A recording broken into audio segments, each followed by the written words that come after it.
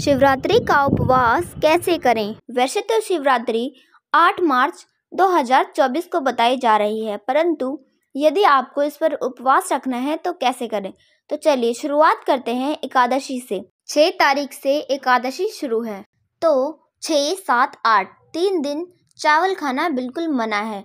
यदि आपने सोचा है कि शिवरात्रि निर्जल करेंगे तो आप सात तारीख वाली एकादशी को फल, दूध या उपवास का कुछ ग्रहण कर लीजिएगा, क्योंकि आठ तारीख महाशिवरात्रि के दिन उपवास के साथ साथ आपको साधना भी करनी है। महाशिवरात्रि के दिन उपवास की वैरायटी बनाकर मत खाना, अच्छे से उपवास रखना, गाजर का हलवा, चाय, कॉफ़ी, शक्कर, ये सभी खाने से बचना। शक्कर बनाने की प्रक्रिया ही ऐसी है कि उपवास के लायक ही नहीं है।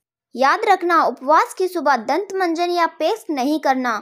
उसमें नमक और केमिकल होता है। केवल उंगली से या गुलाब चूरन से मुँह साफ़ कर लेना। जो लोग शिवरात्रि पर निर्जल नहीं हैं, वे लोग गुनगुना पानी पी सकते हैं। फल, दूध या नारियल पानी ले सकते हैं। Readymade juice, cold drinks, ice cream या बाज़ार के पैकेट के चिप्स, ये उपवास को भंग कर सकते हैं। कोई भी वैरायटी खाकर अपना उपवास भंग ना करें। शिवरात्रि का उपवास 9 तारीख सूर्योदय के बाद पूजा आदि करके सूर्य भगवान को अर्घ देकर ही खोलना। पहले पके हुए मूंग दाल का पतला पानी लेना। एकदम से भोजन करोगे तो शरीर में भारीपन महसूस होगा, जिससे आपकी तबीयत भी बिगड़ सकती है।